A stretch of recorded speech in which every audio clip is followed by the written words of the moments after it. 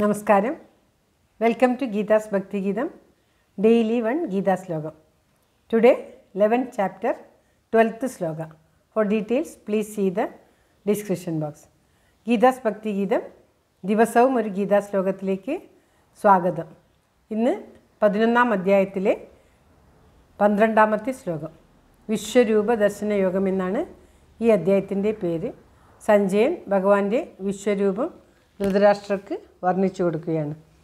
ഓം നമോ ഭഗവതീ വാസുദേവായ ഓം ശ്രീകൃഷ്ണ പരമാത്മനീ നമ ഓം ഗുരുവീ നമ ഓം കൃഷ്ണ കൃഷ്ണ ഹരി കൃഷ്ണ സർവജ്ഞത്വം പ്രസീദ മേ രമാരമണ വിശ്വേശ വിദ്യാമാശു പ്രയച്ഛ മേ. ഓം തൽസത് ശ്രീമദ് ഭഗവത്ഗീത ധ്യാനശ്ലോകം.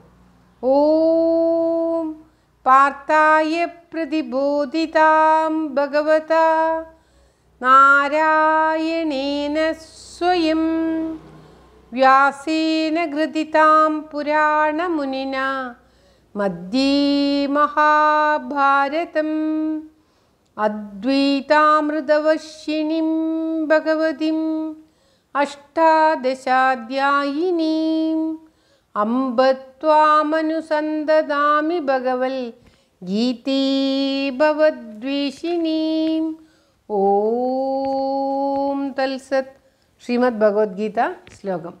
പന്ത്രണ്ടാം അധ്യായത്തിലെ പതിനൊന്നാം അധ്യായത്തിലെ പന്ത്രണ്ടാമത്തെ ശ്ലോകം. ഓം ശ്രീകൃഷ്ണായ നമ ദിവി സൂര്യസഹസ്രസ്യ ഭവേദ്യുഗപദുത്തിഥ യദി ഭാ സദൃശീ സാ സ്യാത് ഭാസസ്തസ്യ മഹാത്മന ദിവി സൂര്യസഹസ്രസ്യ ഭവേദ്യുഗപദുത്തിഥ യദി ഭാ സദൃശീ സാ സ്യാത് മഹാത്മന ഓം തൽസത് ദിവി സൂര്യസഹസ്രസ്യ ഭവേദ്യുഗപദുത്തിത യദി ഭാ സദൃശീ സാ സ്യാത് ഭാസസ്തസ്യ മഹാത്മന സഞ്ജയൻ പറയുകയാണ് ആകാശത്ത് ആയിരം സൂര്യന്മാർ ഒരേ സമയത്ത് ഉദിച്ചാലുണ്ടാകുന്ന കാന്തി ആ വിശ്വരൂപന്റെ കാന്തിക്ക് തുല്യമായി ഭവിച്ചേക്കാം. ആയിരം സൂര്യന്മാർ ഒരേ സമയത്ത് ഉദിച്ചത് കണ്ടവർ ആരും തന്നെ ഇല്ല അതുകൊണ്ട് തന്നെ ഭഗവാന്റെ കാന്തി വർണിക്കുവാൻ വാക്കുകളില്ലാത്തതുകൊണ്ട് സഞ്ജയൻ പറയുകയാണ് ആയിരം സൂര്യന്മാർ ഒരുമിച്ച് ആകാശത്ത് ഉദിച്ചാൽ എങ്ങനെയുണ്ടാകുമോ? അതിന് തുല്യമായി വേണമെങ്കിൽ ഭഗവാന്റെ കാന്തിയെ നമുക്ക് പറയാം. അല്ലയോ രാജാവേ ഭഗവത് സ്വരൂപത്തിന്റെ കാന്തിയെപ്പറ്റി എങ്ങനെയാണ് ഞാൻ വാക്കുകൾ കൊണ്ട് വിസ്തരിക്കുക? അതുകൊണ്ട് തന്നെയാണ് ആ ഭഗവാന്റെ കാന്തി വിസ്തരിക്കുവാനാവാതെ സഞ്ജയൻ ആയിരം സൂര്യന്മാർ ഉദിച്ചാൽ ഒരേ സമയത്ത് ആകാശത്ത് ഉദിച്ചാൽ എത്ര പ്രകാശമുണ്ടാകുമോ അത്രയും ആയിരിക്കാം ഭഗവാന്റെ കാന്തി എന്ന് പറയുന്നത്.